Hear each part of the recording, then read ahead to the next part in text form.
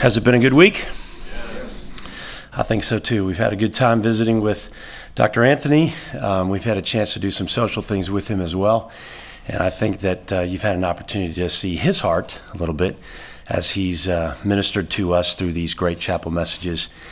We've had a chance to uh, see him when we visited in faculty meeting and some of his story and what God has done in and through his life uh, over the years. And uh, we're excited. I'm personally excited about where he is and what he's doing and what God is doing through him and his kids. And um, it's it's been a real blessing for us to to get to know him and to have him here on campus today. So let me pray for him and for us as uh, we come into our last chapel message this morning. Father, thank you for this great week of opportunity to get to know you better, to get to know ourselves better and the relationship that we have with you. Lord, it is our lifelong quest as believers to know you better, to understand your mind, your heart, as we've learned this week. Lord, you do require and expect us to follow you, to desire to know you, so that the way that we live and the things that we do honor you, glorify you, and ultimately point people to you. Lord, use us as your ambassadors each and every day. You've called us to be your children, to represent you in every sphere of influence. Thank you for the opportunity that we have to prepare for that here at Dallas Seminary. Thank you for the ministries and the influence that you've given to each one of the students that are here and the faculty and the staff, and the way that you use all of us for that purpose. Thank you for Dr. Anthony, for the journey that you've taken him on, for the things that he has experienced that bring him to this point in his life when he can share from his heart and demonstrate to us his servant leadership. We ask you to bless him and the ministry of the Dream Center and all the work that they're doing, and the families and the, the ladies and the children that they're influencing, Lord. Um, I have to believe that you're smiling because of what he's doing and for the work of that particular organization. So bless him today as he brings his final message to us, that we would have the ears to hear um, and that we would um, trust you to guide us and direct us and to show us the way. We pray these things in Christ's name. Amen. Dr. Anthony.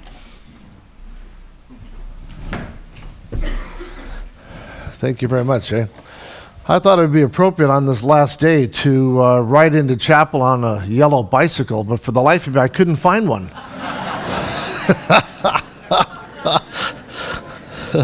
that's, that's been a unique cultural experience this week for me to, like you're tripping over these bikes all over the city.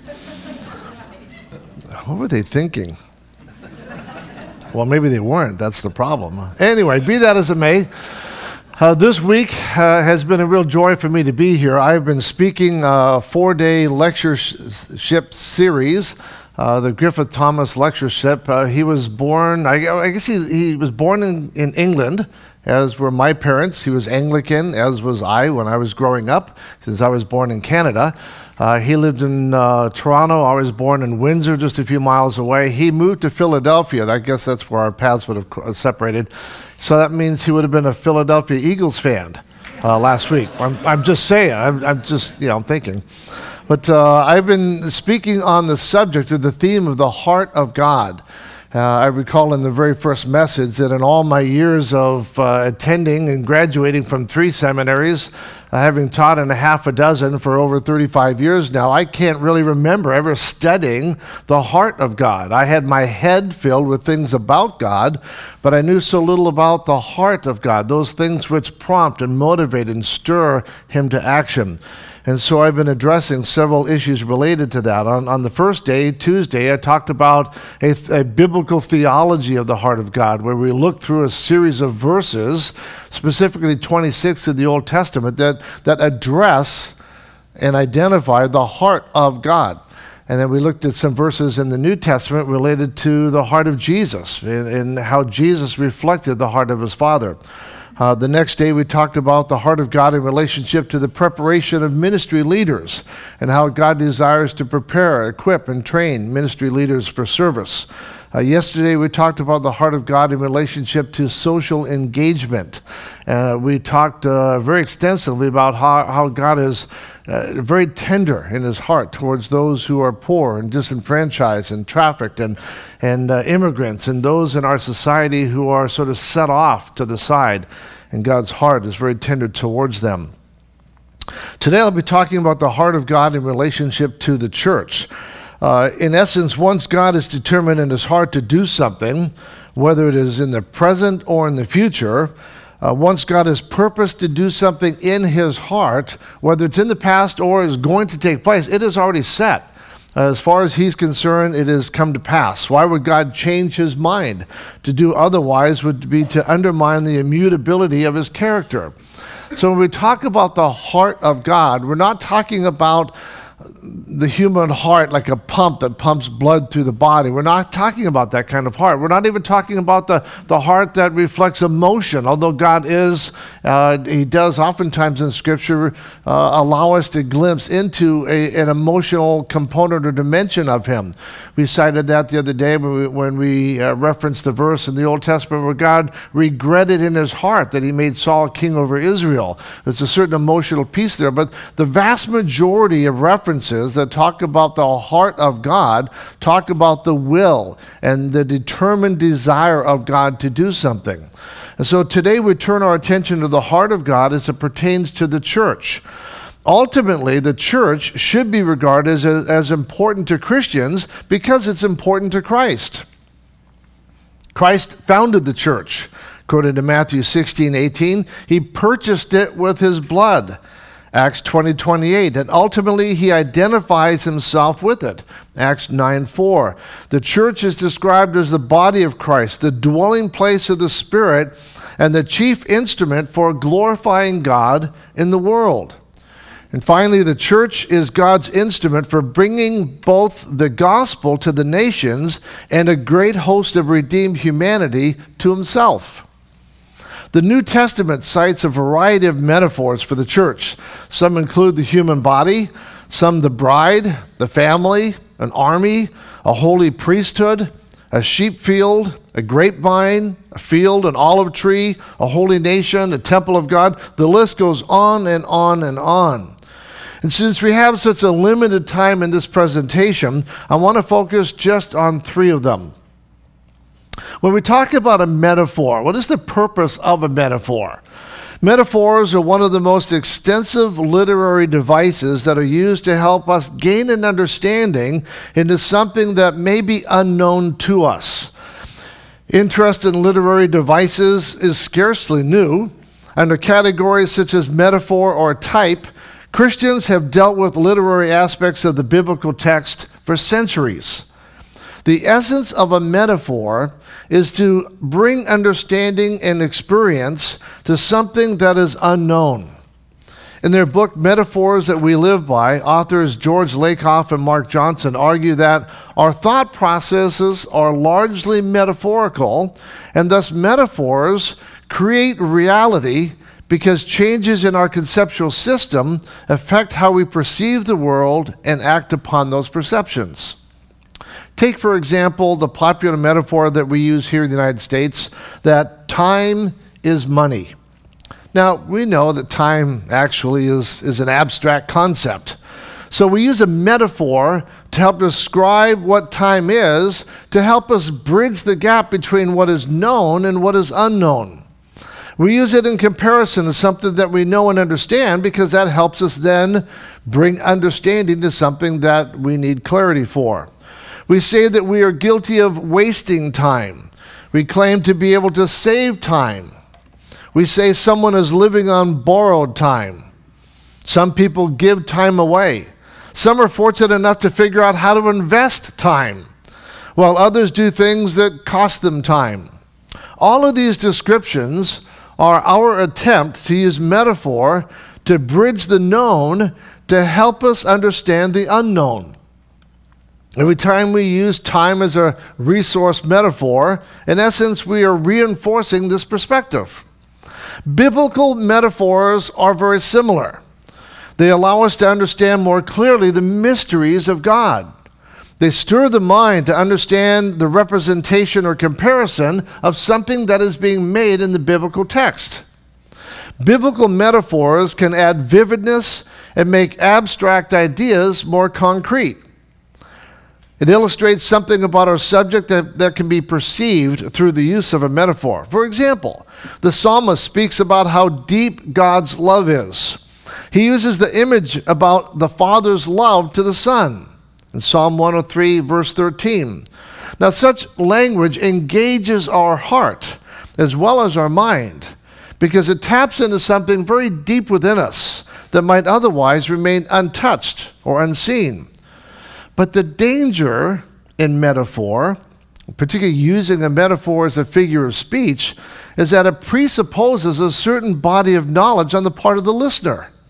If, for example, you have never known the Father's love, or perhaps your earthly father's experience was negative or abusive, using a metaphor of, of a loving Heavenly Father may not communicate its intended meaning.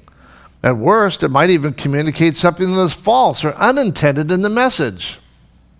So, Understanding such risk, I embark on a lecture intended to illuminate a concept that I believe God wants us to understand with crystal clarity. My objective in this fourth and final lecture is to elucidate the heart of God as it relates to the church. In order to accomplish this, I want to employ three biblical metaphors that God uses to help us understand the importance that God places on the church. There are nearly 100 such metaphors in the New Testament, images that reveal the church and what it is theologically. Our three metaphors today are the body, the bride, and the family. Each is, has a fairly common metaphor and is not intended by God to be cryptic or in any way shrouded in mystery or enigmatic. Let's first take a look at the metaphor of the human body to understand the heart of God as it pertains to the church.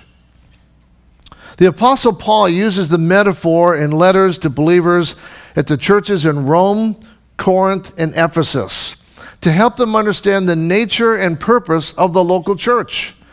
Here he describes the church as being made up of different members, similar to that which comprises the human body.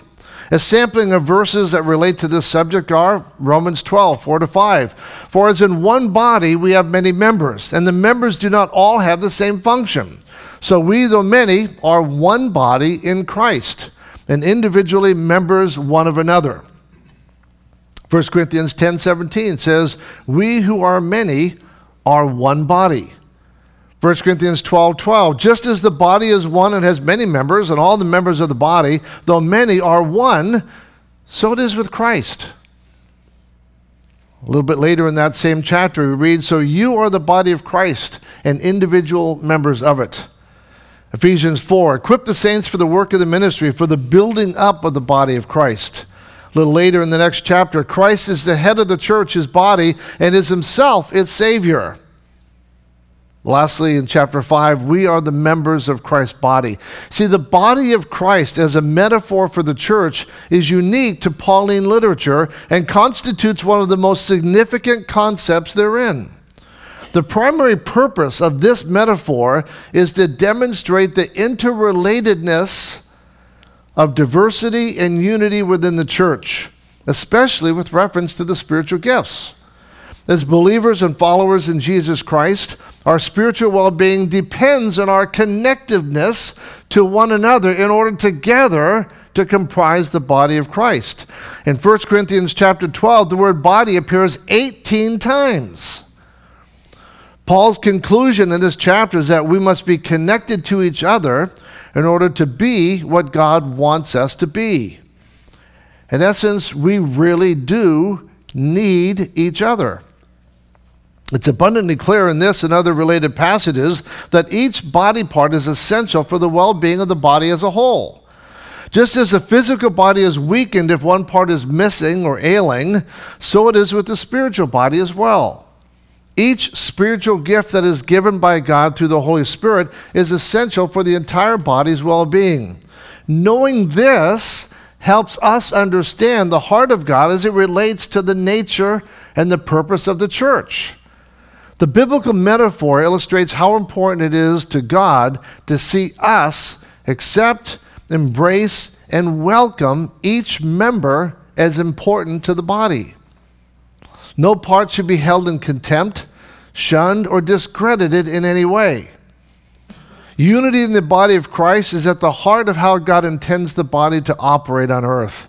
His intended will as, and his expressed desire is for every member of the body of Christ to get along, to work together in harmony towards one purpose, and to focus our energies towards accomplishing his expressed intentions in the church. I think at last count there's 54 different Baptist denominations. Think about that. Can there really be that much difference? I know some in studying church history, some denominations split over one word. How utterly absurd. That cannot possibly be the heart of God that his church is fragmented that much. And that's just one denomination. I mean, Presbyterian split, Lutheran split, Methodist split. I mean, you, you name the denomination, it's fragmented. What is God's intended purpose? What is his heart's desire? We find that. And the Pauline epistles tell us that the intended desire and, and, and what God desires for his church is to be one, that we would serve together in one, regardless of the distinctives that we think are so important. These intentions would include three things. First of all, to proclaim the gospel message of salvation in Christ. Secondly, to provide a measure of God's grace and mercy, both the here and the now. As I talked about yesterday, how we can reach the broken, the lost, the, the disenfranchised, the trafficked eh, within our own community, to do that in the name of Christ, as the body of Christ, the hands and feet reaching out, getting dirty, and thirdly, the intention is to employ each gift of that body in order to use them for kingdom purposes. There are somewhere around 28 spiritual gifts mentioned in the scriptures, depending on your definition and your particular faith journey. While we may disagree on which ones are still active today, nevertheless, the argument has to be made that the purpose of the gifts is that each one of us bring that to the table to do something in the world, to proclaim Christ, to bring the lost and broken to Him, and to serve the needs of those around us in the name of Christ. Secondly, let's take a look at this second metaphor the church as the bride of Christ. Second metaphor I'd like to explore is that of the bride. Marriage is a metaphor very prominent in the New Testament. The image of marriage, however, is also applied by God to Israel in the Old Testament. The Old Testament occasionally used the image of a bride together with other aspects of nuptial imagery to depict Israel's relationship to Yahweh. This bridal imagery primarily emphasizes devotion and the joy of the bride coming into relationship with the groom. Similar imagery is applied to Christ and the church in the New Testament. As a metaphor, the bride of Christ denotes intimacy, closeness, and loving proximity. A bride and her husband share a bond like no other. There is a deep and abiding commitment that transcends the trials and the turbulence of life. And speaking of this lasting bond, one author writes The union of man and woman in marriage is a mystery because it conceals, as in a parable, the truth about Christ and the church.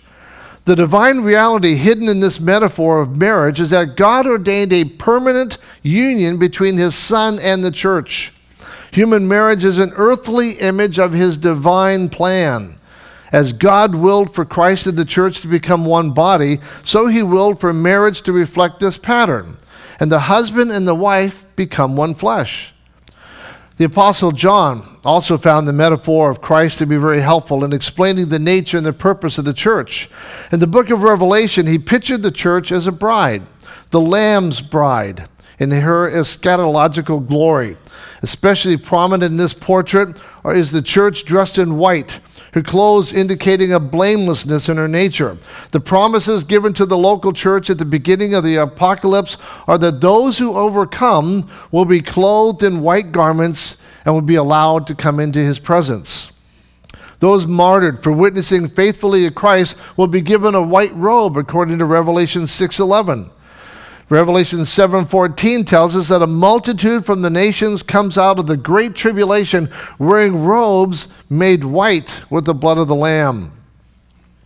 Revelation 19 verses 7 through 9 tells us that the glorious church is blessed because it will be called to the marriage supper of the lamb where she is given fine linen clean and bright to represent her righteous acts. What a beautiful picture this is the union of Christ with his bride. These references help us as God's people to understand God's priority, his heart, specifically as it relates to the nature and the purpose of the church. The intimacy that exists between Christ and his bride is characterized in Scripture as being pure, righteous, and marked by faithfulness and a marriage relationship worthy of the most wonderful and glorious celebration that will ever be seen in eternity. It will usher in a new age and a dimension of relationship between God and man. How glorious will that day be? So, to illustrate this, let me highlight a couple of verses. Ephesians 5, verses 31 and 32. Therefore, a man shall leave his mother and father and hold fast to his, his wife, and the two will become one flesh. This mystery is profound. I am saying this because it refers to Christ and the church.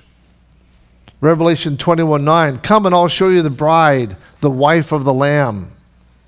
And then also in that book, chapter 19, the marriage of the Lamb has come, and his bride has made herself ready. It was, a, it was granted to her to be clothed in linen, pure and bright. The Apostle Paul, in his second letter to the Corinthian church, highlights this metaphorical depiction of the church as the bride. For in chapter 11, he writes, For I feel a divine jealousy for you, since I betrothed you to one husband. This is Paul writing to the church to present you as a pure virgin to Christ. He pictures himself as the father of the bride, whose ultimate purpose is betrothing the church of God in Corinth to her heavenly bridegroom, Jesus Christ, who is present at the last days. Third and finally, the church as a metaphor for the family of God. When we look at the metaphor of the church as a family of God, we see it like a parent. It might have been somewhat dysfunctional in your own personal experience, but nonetheless, according to Scripture, it likes it, it acts and it likens itself to the family. Until recently, mm, for the most part, we understood what a family was. It's changed over the years. There was a time, at least for myself growing up, when you talked about family, it was pretty obvious. We talked about two parents, male and female, and the presence of a child, or perhaps several, living in one location. Pretty simple, really. In biblical days, family was defined in broader strokes. They discussed family in the context of ancestries, such as grandparents, aunts and uncles, cousins, and a host of others related, albeit at times loosely, by blood. Tribes and clans and kinfolks are words that are used to describe this broader concept of family. And while there may be far more diversity in membership when using such as a paradigm, that's not to say that these individuals have nothing in common, for indeed they do. For those who are included in the family of God, our commonality is drawn from our spiritual father, God. As the head of our spiritual family, we find our identity as His children by new birth and adoption. That in turn makes us related by spiritual blood to Christ. We refer to one another from the household of faith as brothers and sisters. It's been accurately said that there are no grandchildren in God's family. You're either a member of God's family or not, based upon a clear choice that you have made on the day of your conversion. One cannot join God's family because of a decision that their parents have made. There's a sampling a few of these metaphorical references. 2 Corinthians 6:18 I'll be a father to you and you'll be sons and daughters to me says the Lord God Almighty. Matthew 12, stretching out his hand towards his disciples, he said, Here are my mother and my brothers. For whoever does the will of my Father in heaven is my brother and sisters and mother.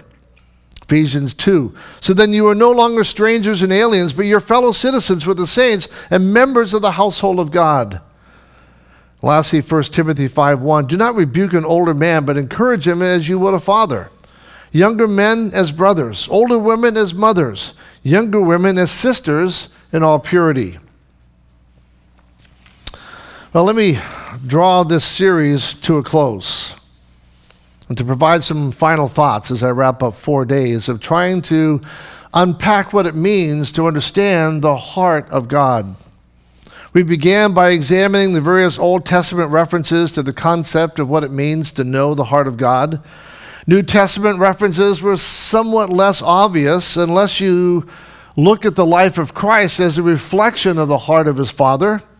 We certainly see this when Jesus says to Peter, and Peter or Philip, and Philip asks him in John 14, Lord, show us the Father, and it'll be enough for us. And Jesus, I think, probably scratched his head and said, Philip, have I been with you so long that yet you still not know me? He who has seen me has seen the Father. How can you say, Show us the Father? Do you not believe that I am in the Father and the Father is in me? In essence, the actions of the Son reveal the heart motives of the Father. So let me take a moment and perhaps take a little bit of a different tack. What about your heart? We've been talking about God's heart for four days. Let me just wrap up in the last five minutes and say, what about your heart? What do the scriptures teach about the state and the condition of your heart? I remind you of a verse I read earlier in this series from Second Chronicles my life verse, where the eyes of the Lord search to and fro throughout the whole earth, that he might show himself strong on behalf of those whose heart is completely his. In essence, to know your heart is to know your motives, your thoughts, and your priorities. In Hebraic thought, the heart is comprehensive in its operations as the seat of the intellect affective, volitional, and the religious life of a human being. They were all intertwined. You couldn't dissect them and pull them apart. And because of this ultimate and vital role, to know a person's heart is to know the actual person. It's a mirror image of the man or woman. As Proverbs 27:19 says, as in water face reflects face, so the heart of man reflects man. Since the heart holds the key to one's essential makeup, its content and condition should be regularly examined. Watch over your heart with all diligence, admonishes the author of Proverbs 4:23, for from it flow the springs of life. In the third chapter of 1 Kings, we read that God came to Solomon in a dream and asked him, Name it, claim it. What favor do you want me to do for you? Well, Solomon ponders for a moment and he asks God for wisdom. Wisdom and knowledge so that at this young age he might rule his people, that is, God's people, with integrity, according to verse 10. In essence, Solomon desired a heart that was soft and sensitive, to be able to discern right and wrong, to make wise decisions, and to rule in such a manner that he received God's favor. So God granted the young king his desires. And as we read further in the chapter, added a significant number of additional blessings as well. While we do not know the precise age at which Solomon became king, most scholars would say somewhere in his early 20s. We know from 1 Kings chapter 11, verses 42 to 43, that he reigned for 40 years. And in the same chapter, it is recorded six times that Solomon's heart had grown cold and had turned away from God. Worldly temptations had eroded that first love, and slowly and at times perhaps imperceptibly, his heart had grown cold. He died spiritually impoverished, a derelict of a godly leader. So, if it could happen to someone who began his administration with a personal visit from God, it can certainly happen to you and to me. So it behooves us to guard our own hearts and to protect them from the forces that would seek to destroy it. For make no mistake, there are forces out there that seek to destroy your heart. So, knowing this, Scripture admonishes us to guard our hearts and to be watchful over what we allow to influence it. For once tainted, the heart is hard to restore. We know, of course, that Jeremiah warns us the heart is deceitful above all things. Who, who can trust it? Now, that's not to say that the Holy Spirit is incapable of remaking, reshaping, and redeeming man's heart. I am the recipient of such a transformation, and for that I'm sincerely grateful. Surely the, surely the inner working of the Holy Spirit can and should have a marked improvement over the condition of our heart. In the book of Galatians, we're told the evidence of the Holy Spirit's work in our life is a changed heart. These fruit of the Spirit, as are presented in chapter 5, provide ample evidence of the redemptive work of God's Spirit and how He can change in the condition of our heart.